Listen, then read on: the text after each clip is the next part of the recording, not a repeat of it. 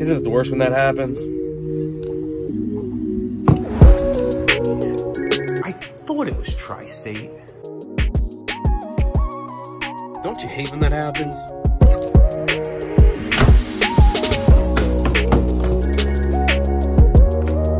Whoa. Nice job. Sorry, ADD moment. We're opening this up to check it out.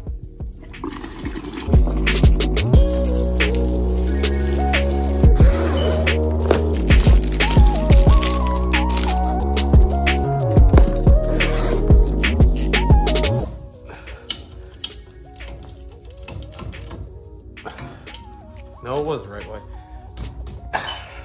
Guess this has never been checked. So yeah, don't you hate when that happens? When you show up somewhere expecting to see, you know, whatever business you were going to, and it turns out that since you haven't been there in a little while, that you know, some conglomerate bought them out and they changed the name of the business that sounds absolutely nothing like what you were expecting.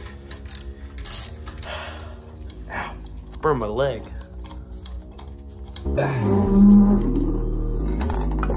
Yeah, definitely gotta clean that.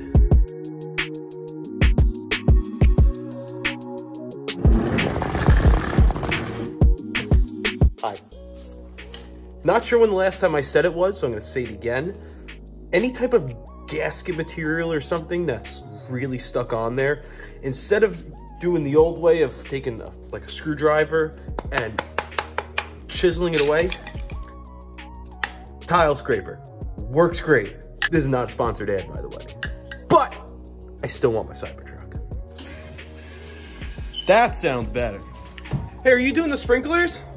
No. No?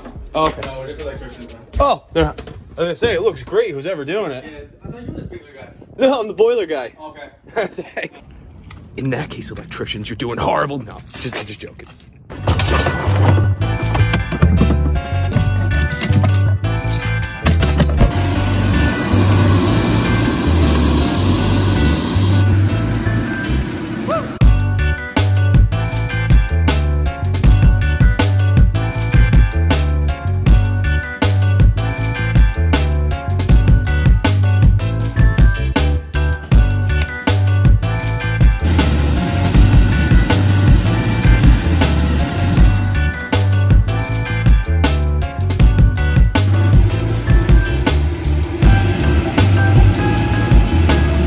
Might need a combustion test. Yeah, I knew going into that when he said, here's one click and then it goes off on failure.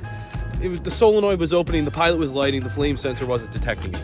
It was intermittent, but still, doesn't take a genius to figure that out. The genius part about that whole setup though was the button bot assembly. Okay, so this is the button bot. It's only like 30 something bucks on Amazon, but the super monitors the boiler through this webcam. And if people call and complain that there's no heat, checks the webcam, sees if there's a flashing light on the control, goes on the app for the button bot and pushes the button. There is also a manual button on the front that did not want to work today, but I mean, come on. Now that is genius.